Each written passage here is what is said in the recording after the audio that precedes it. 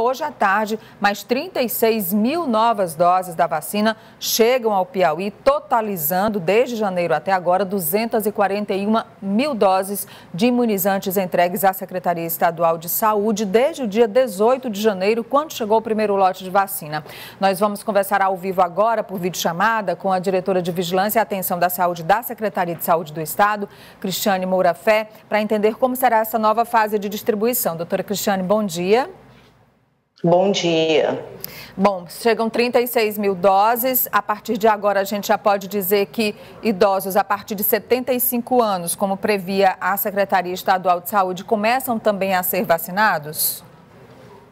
Isso, exatamente. Essa é a nova faixa etária, né, que se inicia com a chegada das doses que vão chegar logo mais agora, às 15h50. Bom, a partir de que momento esses idosos começam, de fato, a ser vacinados, doutora Cristiane? Precisa fazer algum cadastro? Já foi feita a busca ativa desses idosos dessa faixa etária?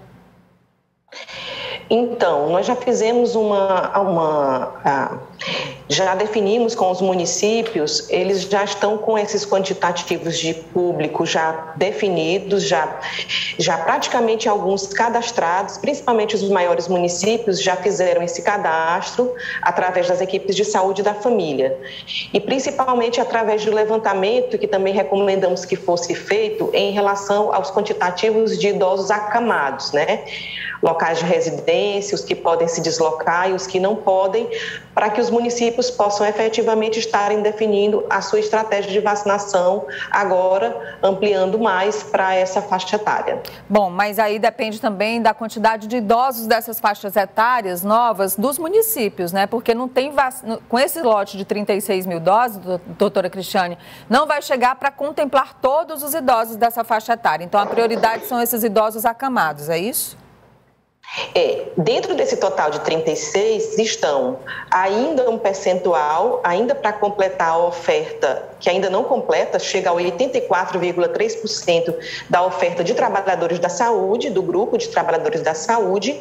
Concluímos, concluiremos com 30% chegando hoje a faixa etária 80 a 84 e com 13%, é um percentual ainda pequeno, abriremos a faixa etária de 75 a 79 anos. Bom, tá aí então, olha só, abrindo a faixa etária, né? 13% dessas doses que chegam hoje, que é da vacina Coronavac, para os idosos, abrindo essa faixa etária dos 75 anos, especialmente os idosos acamados. Nós queríamos agradecer a doutora Cristiane Mourafé, da Secretaria Estadual de Saúde. Só antes, rapidinho, doutora, está prevista a chegada de doses todas, toda semana a partir de agora?